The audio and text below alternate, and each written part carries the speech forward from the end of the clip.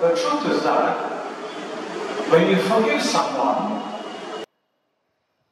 the blessing is upon the, both the people. When you don't forgive, both the persons will be affected.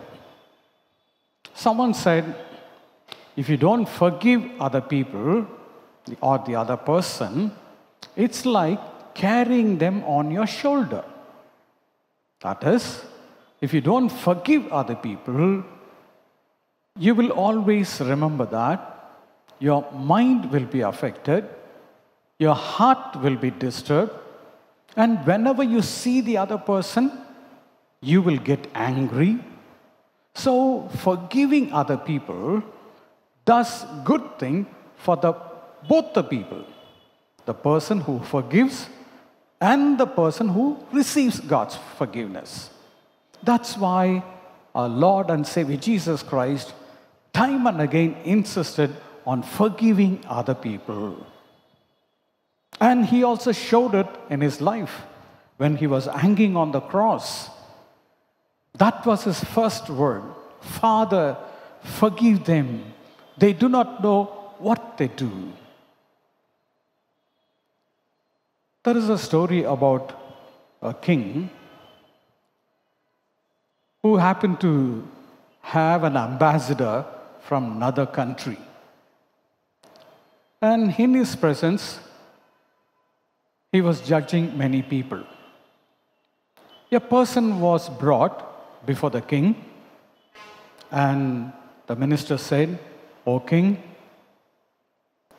he has been committing the same mistake again and again. He is a soldier in our army. Even though we have given all kinds of punishments, he was doing the same thing and different other mistakes. We don't know how to reform him. Then the king remembered how many times he had to punish him. And the king said, We don't know what to do with this fellow. We have been punishing him severely, yet he is not changing. I don't know what to do. Then the ambassador told the king, O king, have you tried forgiving him? The king said, What? Forgiving him. He hasn't changed, even with a lot of punishment that we gave. Then the ambassador said, See, we are Christians. Why don't you try forgiving this time? And the king listened to the voice of the ambassador and said, Okay, I'll do that. And he forgave the person. And the testimony says, from that time onwards, he was very, very loyal to the king. After that, he never committed the mistake. See, Forgiving someone has power. It changes people's life. It brings God peace into our heart. So Jesus knew very well the importance of forgiving other people. Now we have a parable. Every parable can be categorized under one or the other category that we have in the parables. All the parables are related to the kingdom of God. In all the parables, the main theme is kingdom of God. Now, Dr. C.H. Dodd, a Bible scholar, categorizes all the parables into four categories. One, he gives the title, The Parables That Talk About the Coming of the Kingdom of God. Just remember the coming of the kingdom of God. Yes, some parables tell us about how the kingdom of God is going to come into this world, how it's going to spread, how all the people on earth will come into the kingdom of God. This is about the coming of the kingdom of God. There are certain other parables that talk about the grace, the compassion, mercy that we experience when we come into the kingdom of God. So you can remember grace in the kingdom of God. The third category is that parables that talk about the citizens of the kingdom of God. That is, when you come into the kingdom, how you ought to behave, what should be your qualities, how you should forgive other people, how you have to obey God, how you have to relate to other people. This is the third category. So you can remember these words. First one, coming of the kingdom of God. Second, grace in the kingdom of God. Third one, citizens of the kingdom of God. The fourth one is crisis of the kingdom of God. He says, the fourth one is, what is the necessity? The parables that answer the question, what is the necessity to enter into the kingdom of God? What will go wrong if I don't enter into the kingdom of God? Why should I? Why should I come into the kingdom of God? Then the third, the fourth categories of parables talk about what will happen to us if we don't come into the kingdom of God. How our end is going to be. Now, so just remember these four categories. Whenever you study the parables that we have in the Gospels, coming of the kingdom of God, grace in the kingdom of God, citizens of the kingdom of God, and crisis in the kingdom of God. Now, today's parable comes under the third category how we should behave as citizens who have entered into the kingdom of God, how we should forgive other people, how important it is to forgive other people. Now, there's another little thing that I would like to share with you. Whenever you study a parable, there is always a background to review. Something would have happened we call it background, background to the parable. Something will happen, Jesus would respond it by telling a parable. Some lawyer would come and ask him, What should I do in order to inherit the eternal life? Then Jesus would give him the story, the parable of the Good Samaritan. And here also we have a background. What is that? if you look at verse 21 and 22, we have the background. Peter, we know he's a leader, and he comes up with this question Master, is it enough to forgive my brother? Forgive my brother seven times.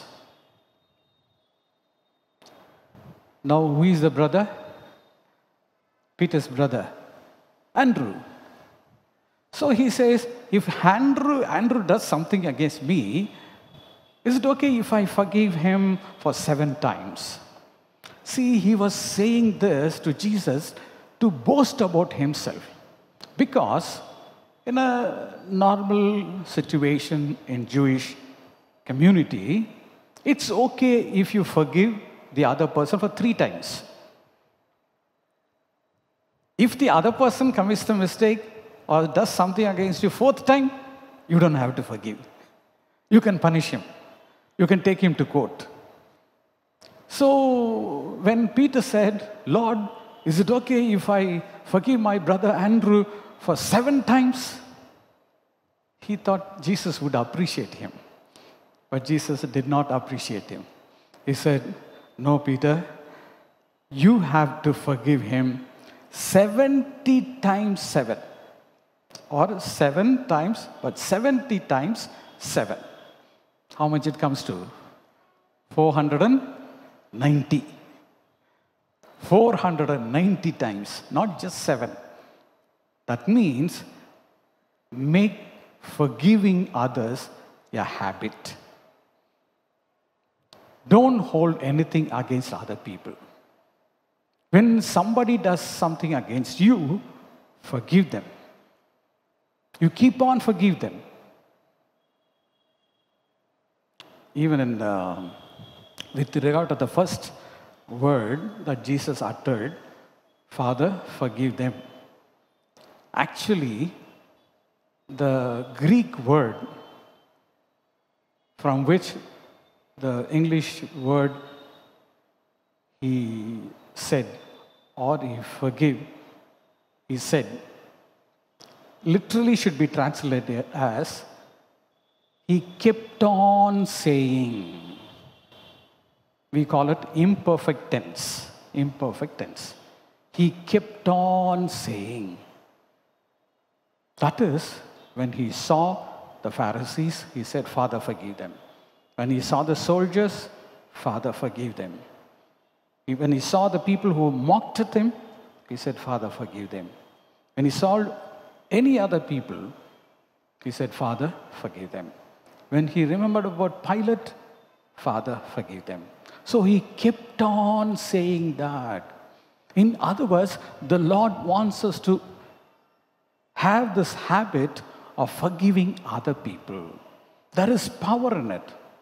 There is power in it. You will be assured that you are a child of God. You will be inside the kingdom of God. Don't be upset or don't think that they are taking the upper hand and they have won. No. You know why? When you don't do something, when you forgive the other person, God will fight for you. God will talk to him. See, I am completing my, I will be completing my 40 years of my ministry next year. In this 39 years of ministry, don't think I had good time in all the pastorates. I had troublemakers. I had people who straight away argued with me, shouted at me. But when you forgive them, God will be on your side. When I was in Molakada area, I was working in St. John's Church. We had a dispute with regard to the church land. Our own church members encroached the church land. And they had their own hutments and other things. When I was there, we were planning to build a big church. So we need space. Then we had to go to the court, go to the police. I went to all the places. Then those people came against me. They filed a case against me. They spread the rumors, even they mentioned it in the affidavit, that I am gathering the rowdies and I am planning to attack them. Many a time after the morning worship service, they'll be shouting at me. I said, Lord, I forgive them. I didn't argue with them. I didn't fight with them. I left it to the Lord. Amazingly, everything worked out well. The Tahsildar was for the church, the collector was with the church. Even I met, I happened to meet the commissioner here, of course, with the help of uh, Bishop Ezra Sargunam. He was an important person in DMK. And they were with the church. And everything went on smoothly. We acquired the land back. Why I am saying that is that when you don't want to forgive other people, because you may think that you are losing sight, no. God will be with you. God will talk to them. The day will come. They themselves will come and reconcile with you. They themselves will come and help you. This is my experience. So there is power in forgiving other people. Okay, let me go into the parable and briefly explain that. Now we have a king, and there was a servant who owed him some money. How much was it? That is an important one. it says 10,000 talents. Now, if you have the Pew Bibles, you have a footnote under 3. A talent was a monetary unit worth about 20 years of wages for a laborer. Now I calculated it. It comes to 600 crores. 600 crores. For a laborer, typical laborer, one day's wages is one denarii. So this is 20 years of wages. So if we just calculate 365 days, probably you can minus, say about 50 days or so. Say 600 days he works and he gets like uh, 1000 rupees per day or 600, 800 rupees. It comes to around crores, 600 crores. Now, the king simply forgave the whole amount, the whole amount, 600 crores. Now he goes, someone else owes him money. How much was that? Look at verse 28. 100 denarii. 100 denarii. Okay? If it say 500 rupees, or 800, it comes to around 50,000 rupees. Quite a large amount, 50,000. But compared to the 600 crores, it's nothing. The king forgave him 600 crores and he couldn't forgive 50,000. And he caught out the other person and choked him and put him in prison and said, Till he pays the 50,000, don't let him out. Now, the co workers saw everything. They knew what happened to him, how the king forgave him. Now, when, he, when they saw the co workers being ill treated, they reported it to the king. And king called this person. See, I forgive you so much. Can't you forgive this little amount?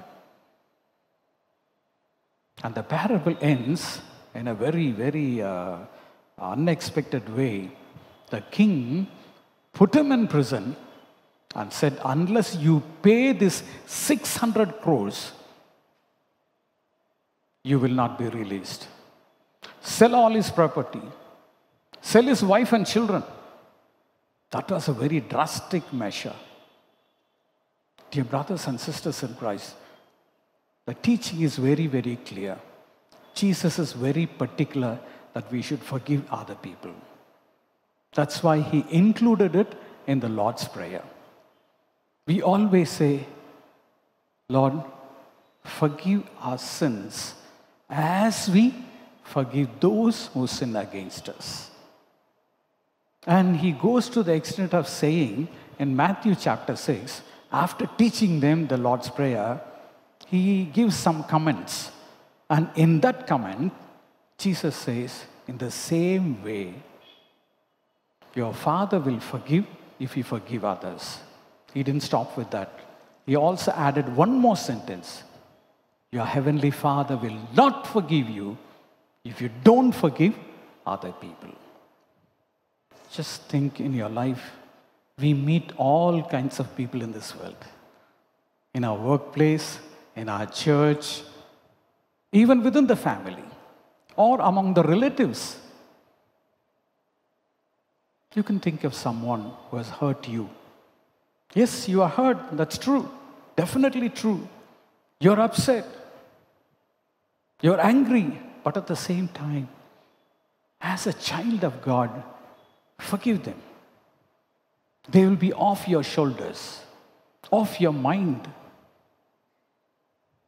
And God will be on your side. And God will help them to come to you and be reconciled with you. Let's just keep a moment of silence.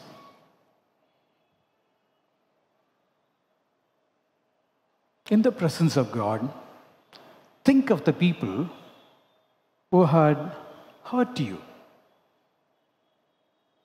Even in the six months of my time here, I know many people have hurt you. In the times of past, yes, as we live in this world, we meet all kinds of people. People who are good to us, people who are who help us, but at the same time we also have people who hurt us deliberately. But the Lord wants you to forgive them. Forgive others. It could be a property matter, it could be a church matter, it could be matters relating to your family, it could be related to your workplace. Whether it's Christian or non Christian, forgive them. You're a child of God. You're a child of God. Your God says, forgive them. Just obey. Just simply say, My Lord wants me to forgive them. I will forgive them. Then you will know and you will experience God fighting for you. He will make the other person repent and come to you so that you go you both can reconcile and renew your good relationship loving god we thank you for this message lord you always want us to forgive other people because there is power in forgiving others and we are assured that we are your child. And you have assured by forgiving other people, we renew the relationship and build the kingdom of God with other people. Lord, help us to be relieved of the pride that we have in our heart ego problem, self righteous attitude, superiority complex. Help us to throw away all these things and humbly submit ourselves at thy feet, O Lord. Lord, thank you for this teaching. Help us to forgive other people and see your wonder working power in our lives. In Jesus' name we pray. Amen.